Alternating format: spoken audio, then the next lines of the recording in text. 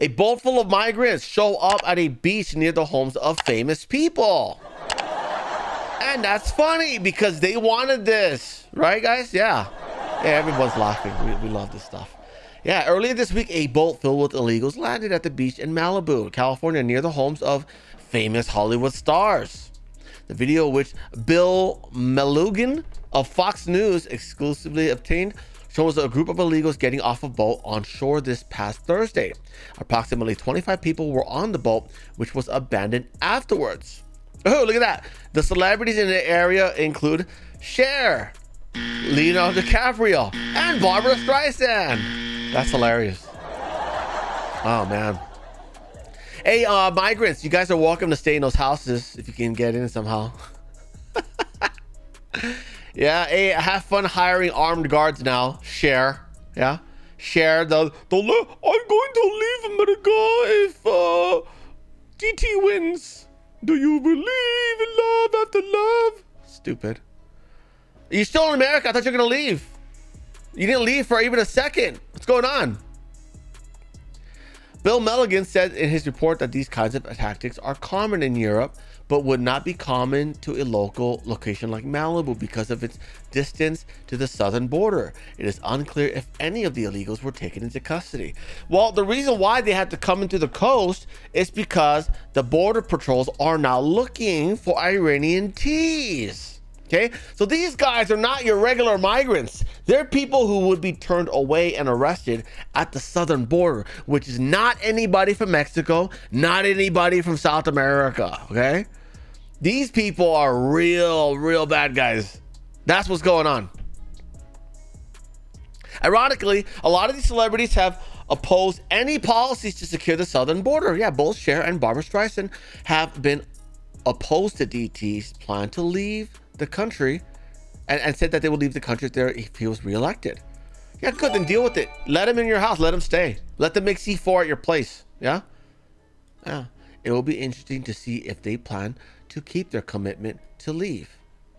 It's just funny. I'll tell you this. It's funny that, um, uh, well, we know that they don't really care about the migrants. They just want to destroy America. They want to do it on behalf of Switzerland, right? The New World Order. Uh, but it's just funny that now the, the, the left is they're barely starting to realize this. Okay, uh, if you didn't catch the uh, the, the the the news blip, uh, because he's so irrelevant now, Arnold Schwarzenegger actually went to go visit the hostages that were freed uh, in uh, Palestine. And uh, now the left are they're melting down. They're like, "Hey, you're supposed to be on our side." no, they don't. They're not. They're not. The only reason why the, the celebrities ever supported a free Palestine was because the Zionists were trying to destroy America. Okay?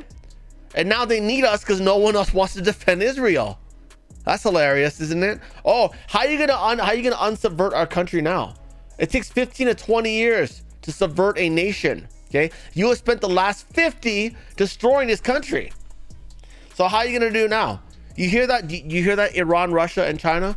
You've got 15 to 20 years to sweep, take over Europe, China. I'm sure you you'll take over, uh, you know, the, all of Southeast Asia, uh, uh, Middle East. I'm sure you'll take over all of Africa, and they will regret ever, um, you know, messing with us. They'll, they'll, regret not appreciating us. Huh? There you go. There you go. Yeah, when I was in LA, I knew a uh, Thai immigrant who actually uh, is under uh, the George Soros payroll and is actually taking money to like gang stalk white Americans, Christians, Republicans, and things like that. And now we've got George Soros uh, meddling in Thai elections. Yeah, trying to screw over that country. Trying to use Thailand as a proxy country to go after China. Oh, big mistake there. She probably should have supported, supported Trump, but you didn't.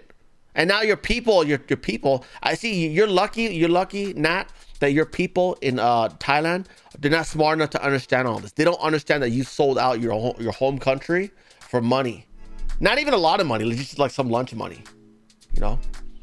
You know, I mean, you're still working, right? Your wife's still working. You're still you're still a, a, regular everyday citizen, but at least you feel powerful, right? Oh, we get to stalk white people and and Christians and mothers and MAGA grandmas. Yeah, yeah. Smart, smart. Hey, your your country will not exist soon, and you'll be required to speak Chinese in Thailand. And in fact, Thailand won't even exist anymore. They just call it New China. Yeah. Smart move, not.